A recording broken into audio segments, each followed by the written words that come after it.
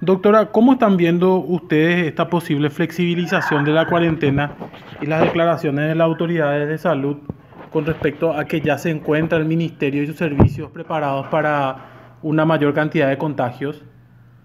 Con mucha preocupación, considerando eh, que realmente dos, dos aspectos, tener en cuenta eh, cómo la población recibió eh, la información, captó, entendió la información eh, brindada y por otro lado la situación real en relación a todos eh, los hospitales, sobre todo aquellos más importantes eh, de la zona, ¿verdad? Estoy hablando del área central, ¿verdad? Donde se concentra mayor cantidad, se concentraría mayor cantidad de casos, ¿verdad?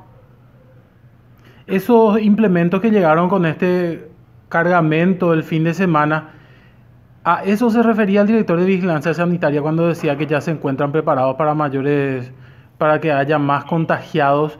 ¿Cómo, cómo ustedes Eh, viven eso en los hospitales? ¿Ya les llegaron los insumos? Aquí en el hospital de trauma particularmente no, y vivimos con una preocupación eh, grande, considerando, es, es cierto, el hospital de trauma no es un hospital de referencia para en, eh, este- esta pandemia, ¿verdad? Pero eso no quiere decir que no sea un hospital eh, clave, porque no desde el momento que la pandemia eh, ya tiene un virus que está circulando, entonces todo paciente se considera potencialmente positivo. Entonces, nosotros todavía no tenemos eh, los insumos suficientes, se vive el día a día y por otro lado también ya hubo casos acá y donde tuvieron que ir en a cuarentena mientras se eh, confirmaba no el caso, por ejemplo. Entonces, eh, la preocupación existe. Eh, los insumos a lo mejor se han entregado cuando ahora el, día de la fecha hubo una, una inauguración en, en el Inerán, ¿verdad?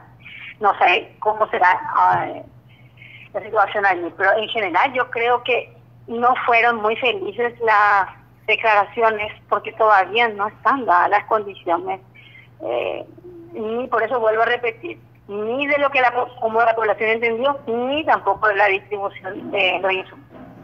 Ustedes debatieron desde las organizaciones de trabajadores de la salud este tema. Eh, ¿Sabe si algunos ya tomaron posición sobre el asunto o cómo lo van a manejar para dar algún tipo de respuesta al ministerio? Eh, nosotros hoy, o sea, sí estábamos debatiendo con otras organizaciones como la, o sea, si se tienen como con la organización Anestesia, ¿sí? Y vamos a tomar una posición probablemente, en no te diría hoy mismo, pero te puedo decir que ninguna organización puede decir eh, en este momento que está satisfecha ni con los insumos con los que se cuenta ahora. Ujú. Le agradezco muchísimo por su tiempo, doctora. Muchas gracias a ustedes.